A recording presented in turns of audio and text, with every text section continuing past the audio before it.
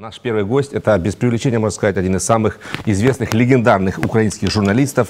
Мой в свое время коллега на прямом канале Микола Вересень. Пане, пане, пане Микола, вітаю вас. А... Доброго здоров'я. Кажуть, треба російською говорити. Я готовий. Готовый, но вы прекрасно говорите по-русски, на самом деле, Микола. А, но вот... я не уверен, что время прошло, теперь, конечно, русский стал хуже, чем, чем, э, чем, чем был когда-то, когда чем был Советский когда Союз. Русский был лучше. А, пане, а, ну, так на русском не скажешь. Ну, господин Николай, это звучит абсурдно. Нет, Николай не проходит, только Микола. Не проходит. Господин Микола. А, а Микола, вы для меня все-таки пане Микола. Как вообще, ну, общий вопрос для начала, как вообще вы все это ну, через свой фильтр пропускаете события последнего месяца? Чем вы живете, как ваш, ваш душевный стан, что называется? Да, душевное состояние у меня такое, как у нормального человека во время войны, когда время от времени что-то взрывается рядом, время от времени что-то гудит. Я имею в виду, конечно, вот эти вот сирены, которые там по несколько раз в день. Я два с половиной, две с половиной недели был в Киеве, вот, а через две с половиной недели я переехал во Львов. Сейчас я сижу во Львове. Мои друзья отдали мне такую возможность жить здесь. Вот я здесь живу. Вот только что отправил дочку в Германию. Она поступила в Берлинский университет и сейчас как раз туда едет. А я остался с женой и с кошкой.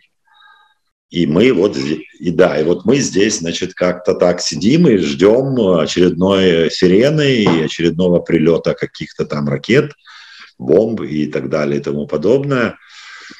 Ну, это было, как обычно, ну, наверное, неожиданно, конечно. Это мои, мои, мои друзья, мои старые друзья, многих из них уже нету. Еще в начале 90-х мы спорили о будущем, и, конечно, и э, Левко Лукьяненко, и Вячеслав Черновол, мы так дискутировали, они говорили всегда, что э, эпоха войн закончилась. Войн больше не будет, больших тем более. А, и единственные люди, которые говорили, что война обязательно будет, это старые-старые партизаны украинской повстанческой армии. Ну, те люди, которых принято в России называть бандеровцами, хотя на самом деле не бандеровцы, в России говорить бендеровцы почему-то, непонятно, почему здесь, может, Остап Бендер как-то у них в головах.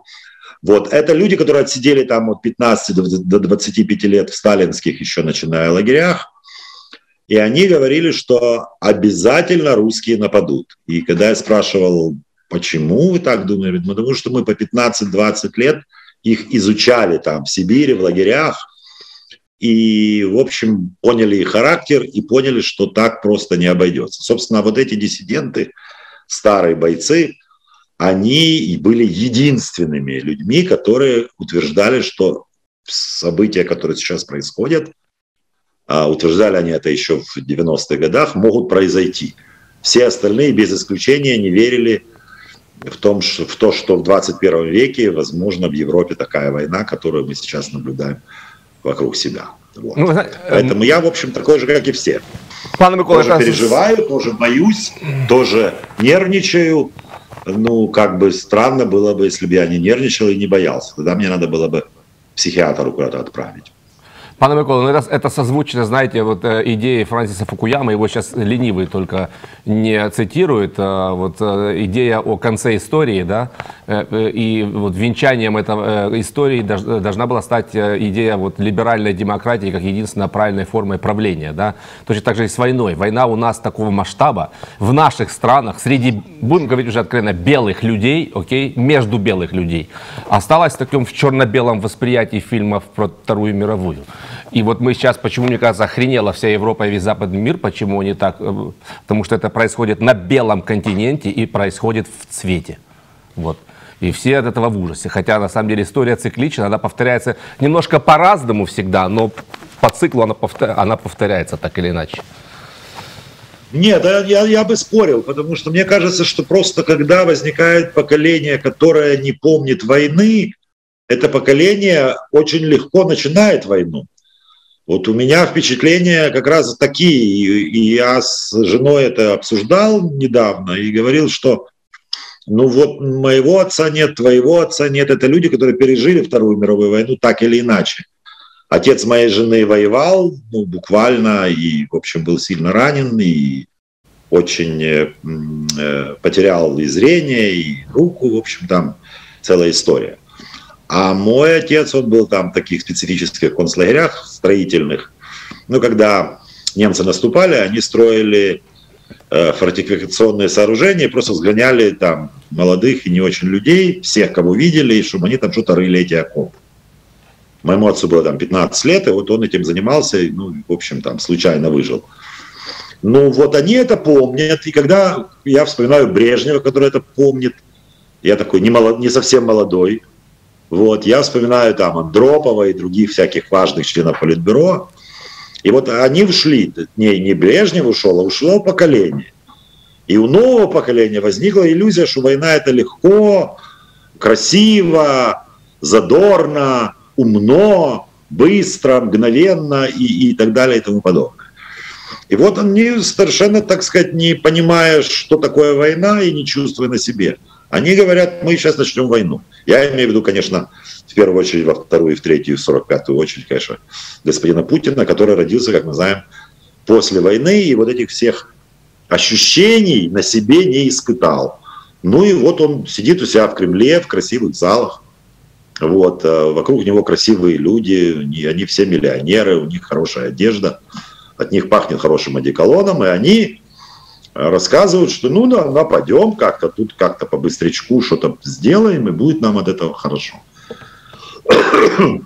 А другие люди сидят в Мариуполе, сидят в Житомире, сидят в Чернигове, в Харькове, в Киеве, во Львове. Ну и они, они видят, как это происходит, что происходит. Они конкретные свидетели этого всего, а не те люди, которые сидят в Москве и, и в общем, ничего такого подобного не видят и, и видеть, собственно говоря, не хотят.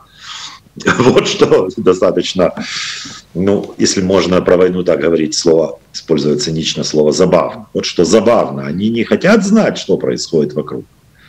Плохо.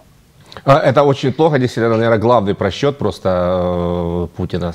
Как бы все, повторяем это, это, мне кажется, консенсус того, почему а, так бездарно с точки зрения российской, действий российской армии а, все происходит. И вы, кстати, в недавнем своем интервью вы выражаете уверенность в том, что перемога за Украину, победа будет за Украиной. И вот э, в этом же интервью говорите, что не дай бог, я перевожу с украинского оригинала, украинцам пересечь границу России – но если представить себе, э, что Москва будет в облозе, в, в осаде, то э, россияне все равно проведут парад победы над Украиной. Что вы имели в виду? Ну, конечно, нет. Просто смотрите, тут очень простая вещь. Если 9 э, мая не будет парада победы, в каком бы то ни было виде, ну, мы знаем, что пропаганда работает в России, прекрасно работает, все верят руководству страны. А руководство говорит, что мы же от победы к победе идем. Мы же не, не, про, мы не прогнулись перед Западом, у нас все хорошо, мы встаем с колен, там, ну и так далее и тому подобное, это все знают. И если на этом фоне не провести парад победы, то значит это что, мы проигрываем? То есть огромное количество людей, миллионы русских зададут себе вопрос. А, а, а, а что происходит, собственно, подождите? Мы тут вот сделали короткую героическую операцию по освобождению Донбасса от фашистов. Так что фашисты там еще есть, если нет парада. Что происходит вообще на самом деле? Вот этих вопросов не должно возникнуть ни в коем случае, никогда. Поэтому надо проводить парад, а учитывая, что работают прекрасные телекомпании, которые, конечно, расскажут, что украинцы проиграли, и вот мы сейчас уже додавливаем до конца, ну, есть такая небольшая заминка – но все равно мы уже выиграли, поэтому вот посмотрите, пора. Только в этом случае у людей не возникнут те вопросы, о которых вы говорили, которые я всегда э, используют. Как, а что, а что тогда? Мы, мы, мы, мы что, проиграли войну? Мы не, нет, даже не так. Мы что, не выиграли войну? Это главный вопрос. Тогда зачем мы это все начинали? Тогда зачем нас обманывали? Ну там масса вопросов. Поэтому обязательно, все непременно, ох, какие слова русские помню, угу. все непременно, надо провести парад, надо показать, что мы победители, что мы э, сильная нация, которая может жить без Европы, без Америки, без их комплектующих самолетов, машин. Мы можем вот это, это, это и это, и мы прекрасные люди, у нас вообще все хорошо. Поэтому я абсолютно убежден, что вариантов нет. Только один вариант. Как бы то ни было, но провести парад при любых условиях, при каких бы то ни было условиях. Вот какие, все. пане Микола, на, на ваш взгляд, какие наиболее ну, вероятные сценарии сейчас для Путина, вот учитывая, что он завяз в украинских болотах, а, э, идет разговор о передислокации на Донбасс, на донбасском на, на, на направлении. То есть, что он может реально сейчас э, сделать, чтобы потом э, провозгласить как победу и сохранить себе не только президентский портфель, но и жизнь, собственно? Да, ну я думаю, что я думаю, что ну тут, конечно, спекуляции с моей стороны, потому что, конечно, никто не знает, никто не проводил трепанацию черепа Путина и не залазил внутрь и, и не рассматривал, какие там у него мысли возникают.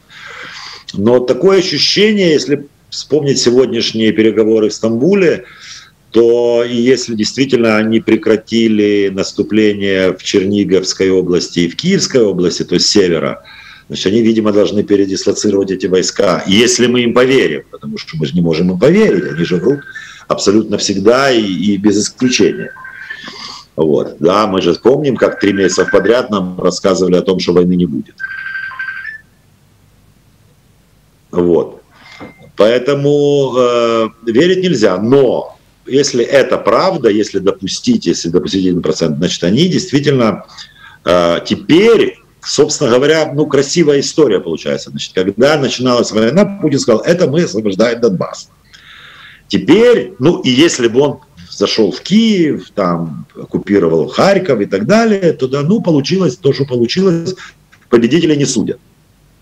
Теперь он может вернуться, не потеряв лицо, к идее Донбасса. Э, я не уверен, что это будет легко. Но это будет легче, чем наступать со всех сторон. Тут, конечно, надо все-таки читать Клаузевица и Мольтке и понимать, что такое стратегия, что такое тактика, что такое оперативность и так далее. Но, по-моему, русские генералы не, не, не читали фон Клаузевица. Ну, тут ничего не сделаешь. Вот. И он попробует, конечно, закрепиться в Донбассе, пробить дырку в, э, в Крым и поставить это как свою за, за, за, заявь на позиции, как это, ну, предложение, да, на переговорах. За нами это остается, вот там э, Мариуполь, если они его таки возьмут, там какое-то расширение анклавов или эксклавов э, Донецкой и эм, э, Луганской областей, и вот этот кусочек они могут забрать и, и, и на этом как бы настаивать и, и сказать, что вот мы теперь вот так вот будем жить.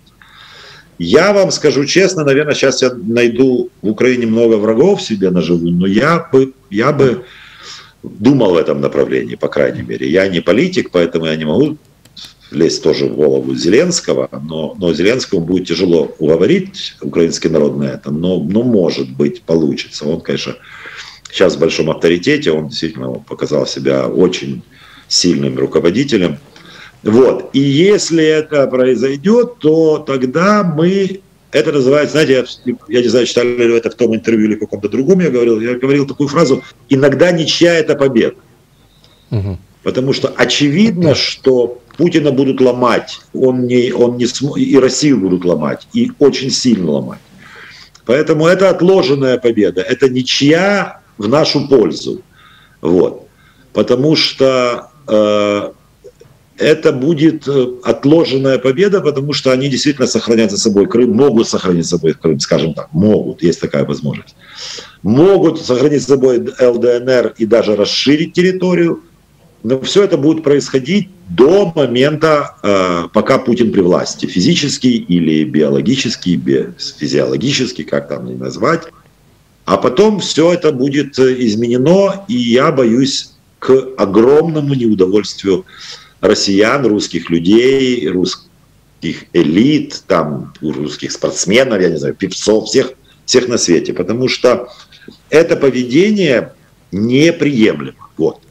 То есть не может человечество, не, может, не могут африканцы, азиаты, латиноамериканцы, европейцы, кто угодно, не могут жить в, в мире, на земном шаре, где есть человек, у которого есть атомное оружие, который каждую секунду готов его взорвать. Человечество не найдет э, дальнейшего существования, если не придумает, каким образом можно стреножить э, Россию, как можно добиться того, чтобы не было больше никогда в жизни, э, в мировой истории, э, точнее в мировой перспективе таких случаев, какие мы видим сегодня. Поэтому я э, приводил всегда пример, что я абсолютно убежден, что и Джо Байден, и Джонсон, премьер Британии, и президент Франции, и канцлер Германии, они все собрали всех своих ученых и задали им один вопрос, причем таких серьезных, фундаментальных ученых. Можно ли как-то ну, ми, не минимизировать, а исключить э, э, военную мощь, то есть ядерно-атомный потенциал России. Вот что можно сделать, чтобы не допускать этого никогда? И я думаю, они будут, они будут класть миллиарды, десятки, сотни миллиардов или э, триллионов просто долларов, чтобы э, уничтожить саму мысль о возможности взрыва планеты. Это, это недопустимо. Ни один человек не может э, смириться с этим. В этом, собственно, квинтэссенция мирового взгляда, всемирного взгляда на Россию. Ни, ни, ни, ни, ни, ни моего, ни Иванова, ни украинца, ни, ни, ни русского, ни японца, а вот любого человека в любой стране. Китайца, японца, я не знаю кого, перуанца, эквадорца, которые сидят сейчас конечно, пьют пиво и, в общем, чувствуют себя неплохо, поскольку войны на их территории нет, но многие из них подумывают где-то здесь задним части мозга, что, ребята, а, а, а, а сейчас прилетит ракета. Как мы здесь идем по улицам, заходим в кафе, э, разговариваем на кухнях и, и, и думаем, вот мы сейчас пьем пиво, э, и ракета сейчас прилетит, или через 15 минут, или вдруг не прилетит, или вдруг прилетит. А если такие люди, как Путин, будут при власти в какой бы то ни было стране, и в этой стране будет ядерное оружие, то вот тогда вопросы к пиву большие возникают. И, и вообще к возможности не только пить пиво, но и дышать, и смотреть, и слышать. А все это превращается в смерть. Люди об этом пока не задумываются, но политики, высокие руководители об этом 100% задумываются, потому что это вызов не Украине и не украинцам. Это вызов мировому порядку. Это, это Адольф Гитлер 21 века, который реально планирует уничтожить земную цивилизацию. Это, ну, знаете, не для того мы э, 100 тысяч лет развивались, да, там от, от каких-то там э, древнейших времен, когда обезьяна условно слезла с дерева и начала стремиться к тому, чтобы быть человеком, и не для того строились пирамиды, не для того развивалась эллинская культура, не для того мы читаем э, Цицерона э, римского, не для того писал картины Леонардо да Винчи и сочинял стихи Шекспир. Вот. И я бы даже сказал еще хуже, и тоже могу нажить врагов, не для того писал стихи и Пушкин, и Шевченко, и Роберт Бернс, чтобы потом какой-то человек пришел и сказал, вот вы тут строили, строили, а я это все разрушу. Я хожу по Львову сейчас, старинному прекрасному городу, и думаю, какое, какие сотни тысяч людей строили эти дома, делали эту лепнину, писали эти картины, прокладывали эти улицы, придумывали водопроводы, придумывали что-то еще. Это все созидание, огромное количество людей каждый день посмотреть на телевизор, иностранные каналы созидают, даже несмотря на то, что они первые новости об Украине, но они все рассказывают, а вот так люди отдыхают, а вот такая архитектура, а вот такая медицина. Вот все человечество думает, что бы еще сделать, как усовершенствовать, как сделать такую операцию, чтобы люди выздоравливали от рака, от СПИДа, как создать новые э, хмарочесы, как это, которые Небоскребы. как по-русски. Небоскребы.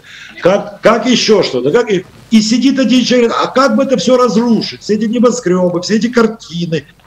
Давайте мы это разрушим. Да? Миллионы людей строят, и один разрушает. Так не может быть. Не, не, Павел Миколаевич, не, не поспоришь с вами, вот действительно, к чему аксиома, а, я думаю, сейчас выведена а, очевидная, что, собственно, ну, патовая ситуация, потому что э, какие цели могут быть с Россией, кроме разрушения? Какая, какая миссия сейчас России всему миру? Вот полный нигилизм а, от латинского слова нигило, нуль. Все свести к нулю, обнулить цивилизацию. Другого действительно не проглядывается. Пане Микола, сегодня, вот конкретно по событию, сегодня прошли э, очередные переговоры в Стамбуле. Э, вот такой вопрос, если коротко можете как бы для себя понимаете, есть ли смысл в этих переговорах? Переговоров, то есть для, для Украины. То есть у меня сомнения насчет э, целесообразности, сомнения насчет того, что Путину можно доверять, э, подозрение, что эти э, переговоры могут использовать в качестве такой шумовой заве, э, завесы. Как вы ощущаете это? Ну, смотрите, я буду опять-таки непопулярен. Надо понимать, что рано или поздно, вот когда я говорю ничья, то я понимаю, что людям не понравится ничья. Мамам, которые потеряли сыновей, и женам, которые потеряли мужей, и родителям, которые потеряли детей, они, в общем, не согласились бы с чем-то, что может ждать Украину. Поэтому я говорю, что я не завидую Зеленскому. Но, знаете, вот смотрите, я вам такую вещь расскажу, цивилизационную. Когда один человек убил другого человека, то по всем параметрам, даже включая Библию, этого человека следует убить. Ну, там, да. А, кровь за кровь, да, вот смерть за смерть, ну вот это все понятно. Но человечество сказала, нет, мы не будем убивать, мы будем давать 15 лет. И человек после через 15 лет или через 20 может выйти и продолжать гулять. А тот, кого он убил, уже никуда не выйдет и не, не продолжит гулять. То есть все равно выигрывает тот убийца. В мире же сегодняшнем, как мы видим, а, приходит бандит, убивает массу людей. Ну, мы же не можем предложить вариант, какой был бы справедливый вариант. А вот давайте вы нам дадите то же количество людей, детей и стариков, которые мы вам, которые вы убили у нас, и мы их убьем. Так быть не может. Значит, Путин уже выиграл. Хотя он преступник, но он выигравший преступник. Он, у него мало людей погибло, а у нас огромное количество людей погибло, я имею в виду мирных жителей, не военных. Значит, тогда мы приходим к такому выводу, что даже если закончится война и начнется торговля, я не уверен, что Украина сможет выторговать справедливый мир. Но это может быть отложенный мир. Вот это я, на это я только и рассчитываю, что законе, смотрите, ну, есть взаимонепри... абсолютно неприемлемые вещи. Смотрите, значит, что говорят э, русские? Русские говорят, мы, э, мы, значит, вот давайте нейтральный статус. Хорошо, говорят украинцы, через референдум. Русские такого слова не знают. У них есть один начальник, он как скажет, так и будет. Поэтому Путин, какой нафиг референдум? Зеленский говорит, ну, это бы референдум быстрее можно провести, чем проводить э, нейтральный статус э, через изменения в, изменения в Конституции. Ну, это слож, сложный, да, это две сессии, это весеннее, осеннее, это, короче, это год, а то и больше. А референдум это месяц, но непонятно, какой результат этого референдума. Да, поэтому я думаю, что это все необходимо делать.